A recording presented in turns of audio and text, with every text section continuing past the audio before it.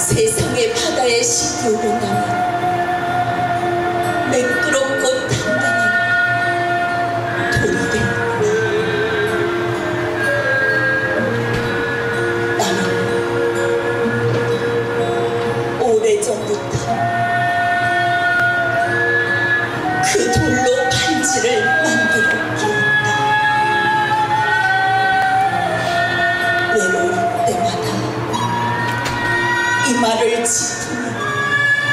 까만 반지를 반짝이며 살았다.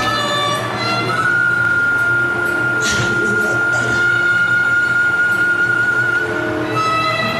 이제 나 멀리 가 있어.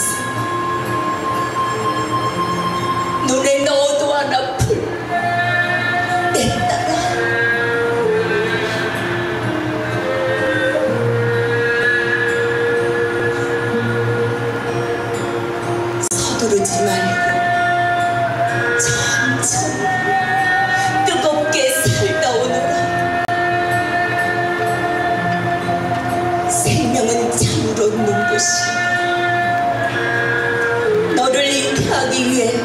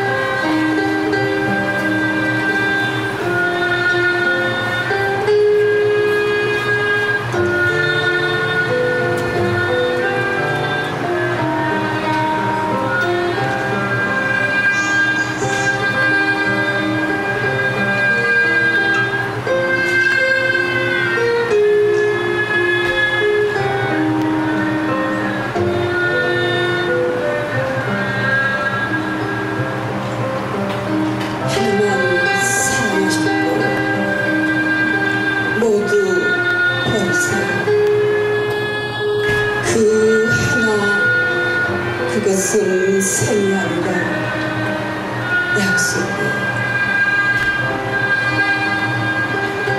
모두가 혼자 가지고 한 곳으로 갑니다 그것은 즐거운 약속입니다. 어.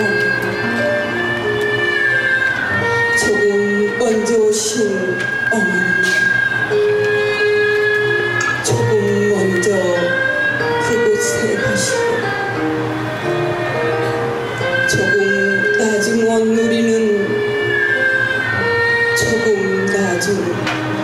그곳에 약속도 없이 태어난 우리 약속 하나 지키며 가는 것. 그것은 참으로 외롭지 않은 일입니다. 어머니 울지 마시고